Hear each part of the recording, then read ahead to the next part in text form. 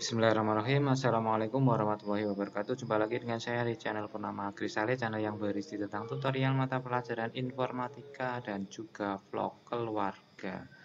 Baiklah pada kesempatan kali ini saya akan berbagi info terbaru tentang wajah ini ya Wajah baru PMM Oke sebelumnya jangan lupa selalu dukung channel ini dengan cara like, comment, share, dan tentunya subscribe. Bagi yang belum subscribe Oke langsung kita ke informasinya ya.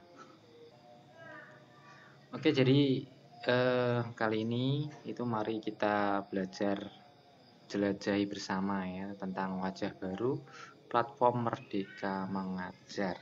Di sini nanti banyak sekali fitur-fitur keren ya yang bisa kita coba. Oke ini kita atau saya ambil dari aplikasi PMM ya ini tentang buletin Merdeka Mengajar edisi November 2023 dengan judul Mari Jelajahi Wajah Baru PMM. Kemudian di sini ada apa yang menarik ya bisa ada ini ya rilis produk ada pojok eksplorasi kemudian pojok inspirasi program pojok tanya jawab ya. nanti keterangannya bisa dilihat sendiri ya uh, ini juga ada tampilan jadi kalau kalau sudah update yang terbaru bisa dilihat tampilannya ya. Tampilannya akan berubah akan lebih lebih menarik ya. Eksplorasi Anda bisa lebih kesit lebih fokus lebih nyaman dan lebih bermakna dengan fitur-fitur yang baru. Oke itu kemudian ada fitur pencarian. Di sini nanti bisa untuk melakukan pencarian ya dengan cepat. Apa saja yang ingin dicari? Ya silahkan ketik di menu pencarian. Kemudian ada juga rilis produk ya. Di sini ada rekomendasi jempolan ada navigasi ini ya navigasinya lebih nyaman ya. dan ada bukti karya. Jadi tetap bisa unggah karya lewat menu karya saya ya. jadi jika Bapak Ibu punya karya ya silahkan di upload di sini ya di bukti karya.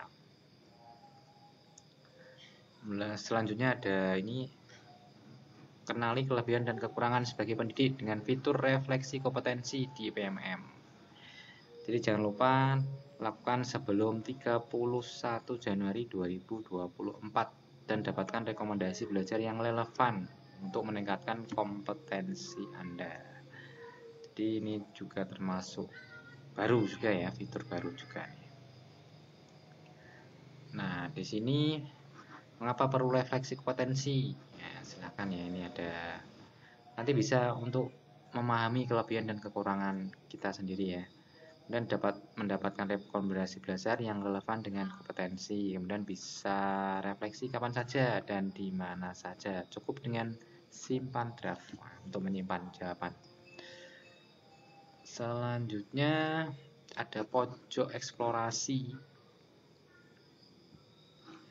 Di sini bisa mengatur apa namanya bisa muncul di sini ya muncul fitur refleksi kompetensi ya ini ke versi 138 ya ketika saya cek sekarang ini ya ketika video ini dibuat itu di aplikasi PMM yang ada di HP saya ini sudah versi 1.45 ya 1.450 sudah versi terbaru. E, berikutnya ini ada program ini ya para penggerak sebarkan semangat dalam pembekalan kedua. Ini dilakukan dari Senin 13 November 2023 lebih dari 170 penggerak hadir. Nah, oke itu ya kemudian di sini juga ada webinar-webinar atau pelatihan-pelatihan ya. Lewat komunitas. Dan ada cerita baik ya. Cerita praktek bisa sebagai inspirasi dalam pembelajaran. Dan ini juga ada apa namanya praktek-praktek inspirasi dari bapak ibu guru yang lain ya kemudian ada bisa mengakses modul ajar yang bisa bermakna yang dalamnya ada bermaknanya ya.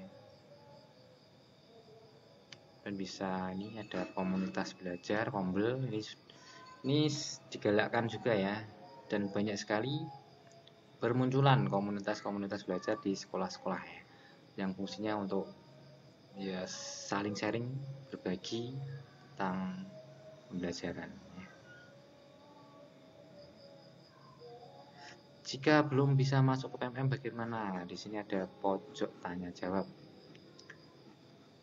Menggunakan akun belajar ID ya.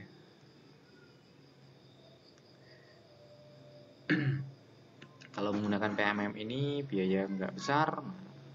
Yang penting akses internet ya, ada ada koneksi internet pakai wifi wifi ya, dan seterusnya ya itu lebih mudah belajar di mana saja bisa ya pakai PMM